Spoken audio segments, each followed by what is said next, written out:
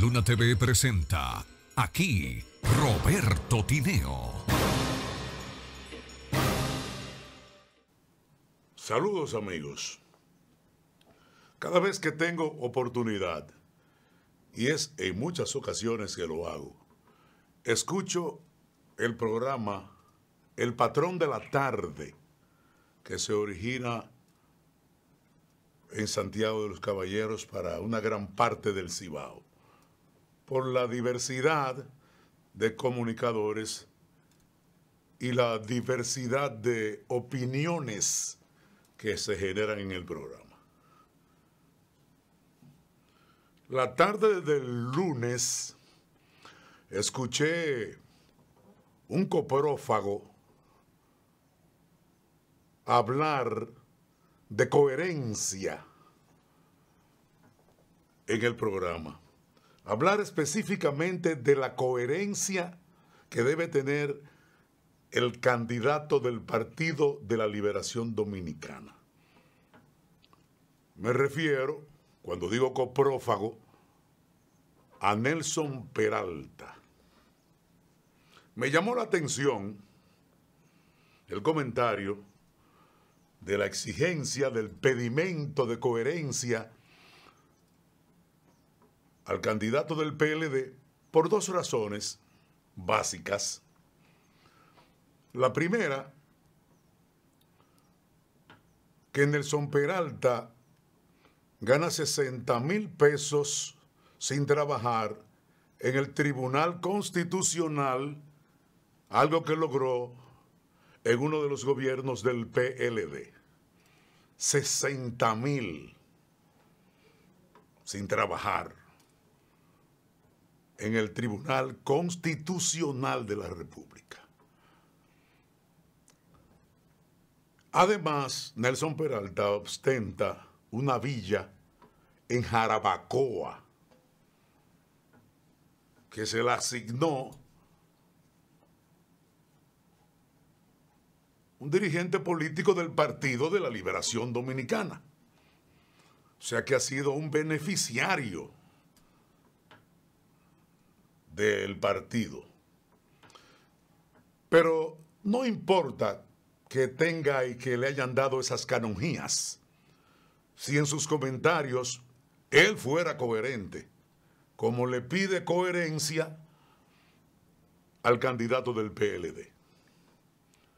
Segundo, coherencia solamente al candidato del PLD o coherencia para todos los políticos porque él hablaba de que un político, para tener credibilidad, lo primero es la coherencia. Debe ese señor buscar los temas de campaña del presidente de la República, Luis Rodolfo Abinader, cuando decía que de llegar al poder iba a quitar el anticipo. Porque por el asunto del candidato del PLD, hablar de que es incorrecto el asunto del anticipo a los comerciantes es que Nelson Peralta le está llamando incoherente. Pero es que Luis Abinader, nuestro presidente, habló de llegar al poder y quitar el anticipo. Y no lo ha hecho.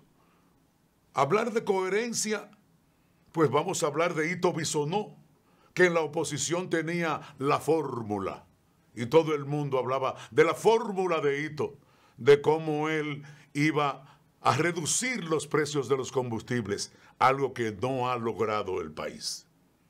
Hablar de coherencia, vamos a hablar de Eduardo Estrella, que hablaba del barrilito, del cofrecito, del dinero para las madres, del dinero de las habichuelas con dulce y todas esas barrabasadas, todos esos disparates que hacen en la Cámara de Senadores para robarse los dineros del pueblo.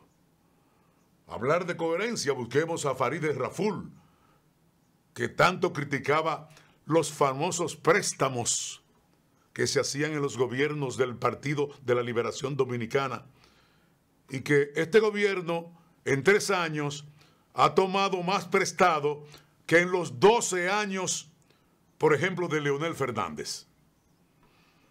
Si vamos a hablar de coherencia, no le pidamos a un político coherencia.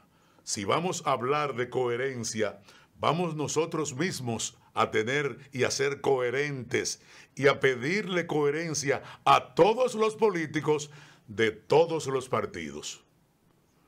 Por eso, la gran mayoría de los periodistas dominicanos se han ganado el mote de bocinas y por eso el periodismo, la comunicación en la República Dominicana va como si fuera por un derricadero de burros. Porque hay una cantidad, podríamos decir más del 90% de los comunicadores, que hablan por lo que le pagan y callan por lo que le pagan.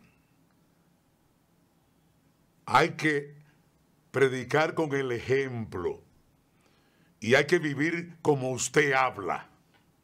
Y usted, señor Peralta, es un corrupto porque cobra sin trabajar, porque tiene villas que se las regalaron los políticos para ponerlo de bocina. Así es que coherencia, aplaudimos la coherencia de los políticos, pero como dijo la monjita, coherencia para todos no solamente para el candidato del PLD. Amigos, gracias. Hasta la próxima. Luna TV presentó aquí Roberto Tineo.